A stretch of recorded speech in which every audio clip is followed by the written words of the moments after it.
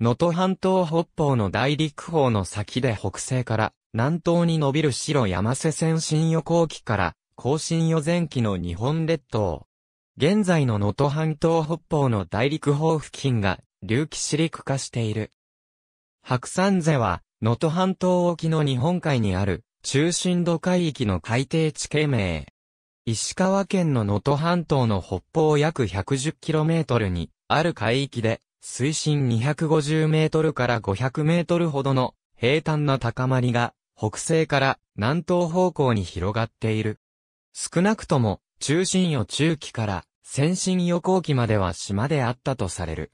水産資源に恵まれた良好な漁場となっている。能登半島沖の海底は、ヘグラ島付近まで水深130メートルの140メートルの大陸方が広がっている。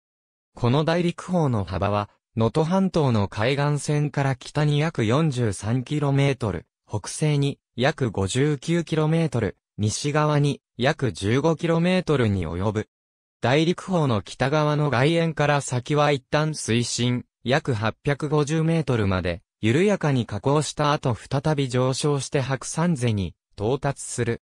白山瀬は最小水深250メートルと265メートルの2つの体からなる。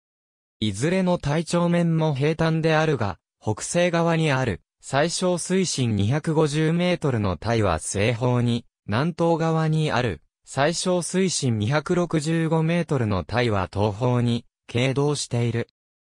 これら2つの体は北西から南東方向の断層で分けられ、体の間は水深500メートルほどの地溝を形成している。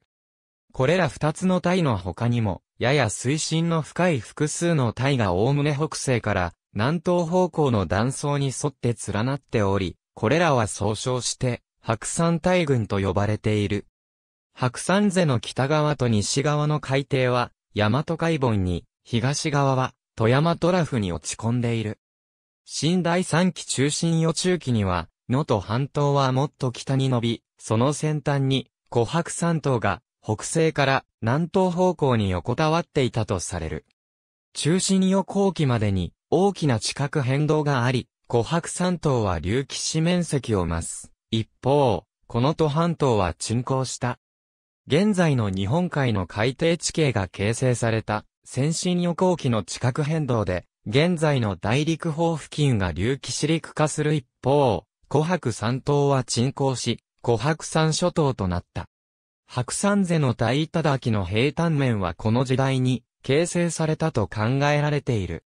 その後第4期甲子御に入って琥珀山諸島や現在の大陸方付近が沈降するとともに、ヘグラ島や七津島が隆起し、現在の地形が形成された。